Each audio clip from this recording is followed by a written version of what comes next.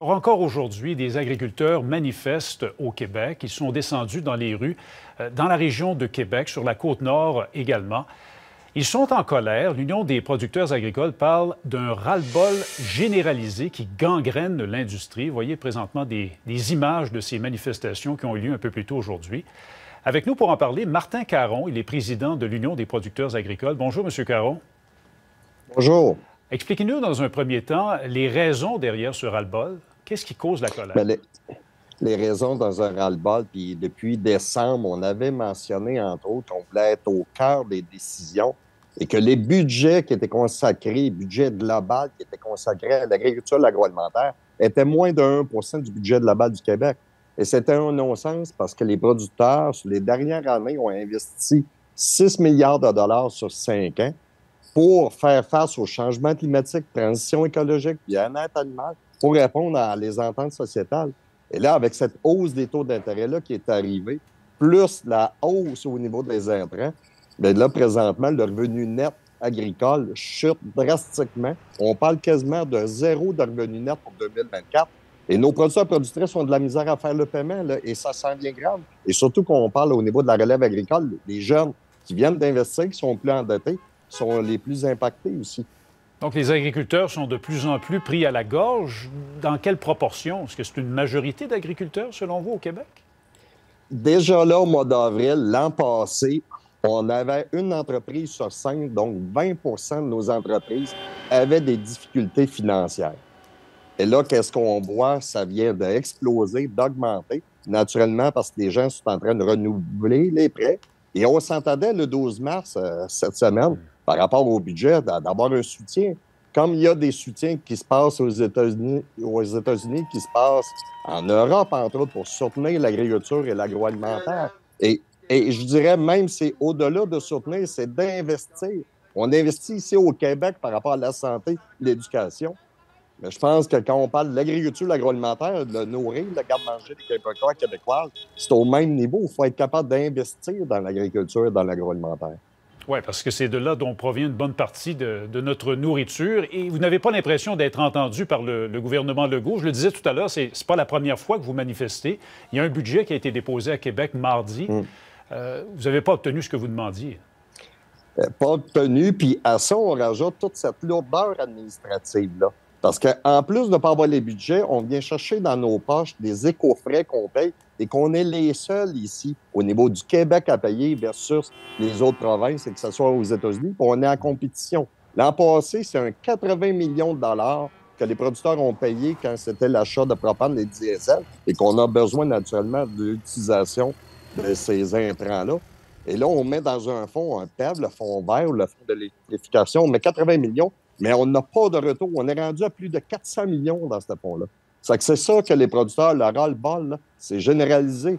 En plus de ça, aujourd'hui, quand on parle de capital national, Côte-Nord, c'est dans des régions périphériques.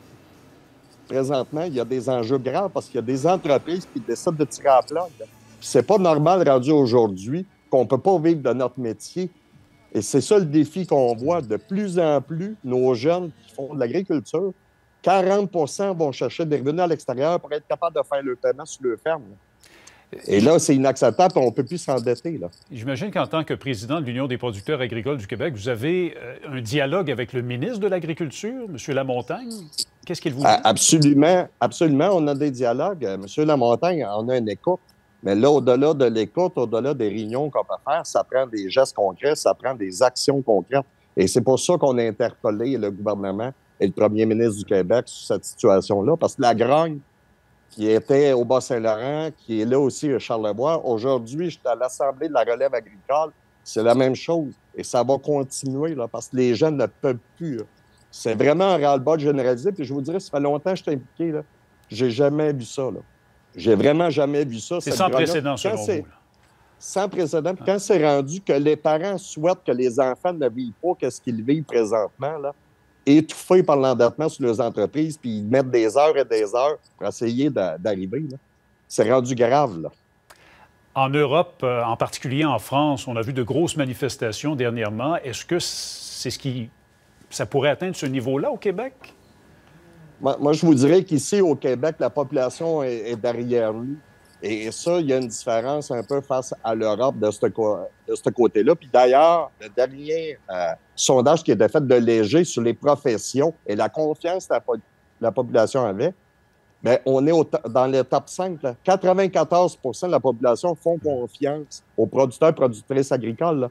Et pourtant, c'est pas ça qu'on voit quand on nous rajoute des règlements et des normes et qu'il faut payer un prix de fou. Là.